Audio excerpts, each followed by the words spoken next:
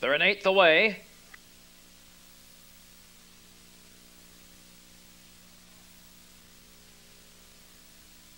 Here they come.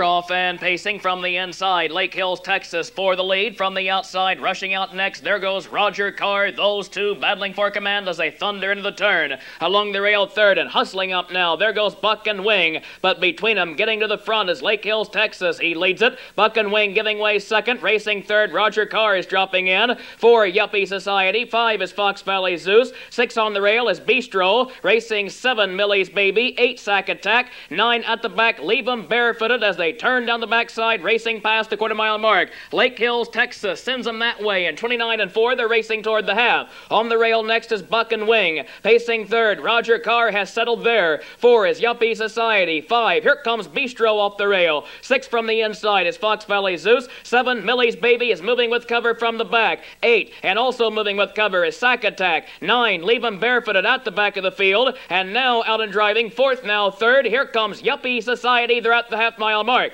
The leader is Lake Hills, Texas. From the outside, Yuppie Society moves up soon to be second. On the rail, shuffled back third is Buck and Wing. Racing four and still moving. Bistro now picks up cover on the outside. Five buried on the rail is Roger Carr as they hit the far turn. Off the half mile mark, they were there in 59 and 2. They're racing toward the three quarter. And from the rail, Lake Hills, Texas still shows the way. Yuppie Society second, trying to move up. And racing third, Bistro now coming three wide. Four, Buck and Wing locked in tight with no place to go. Five, Millie's Baby, six behind him, Sack Attack. Off the three quarter, they were there in 128 and 4. They're in the lane. And now, three deep, Bistro is going a monster mile now getting to the front. Between horses second as they drive this way is Yuppie Society. Lake Hills, Texas drops out of it, racing third and moving up in the lane. Here comes Roger Carr, but Bistro opens up daylight on the field. It is all Bistro and driver Ron Marsh drifting wide in the lane. They are going to cruise to the wire and win it by some six lengths. A battle for second photo between three horses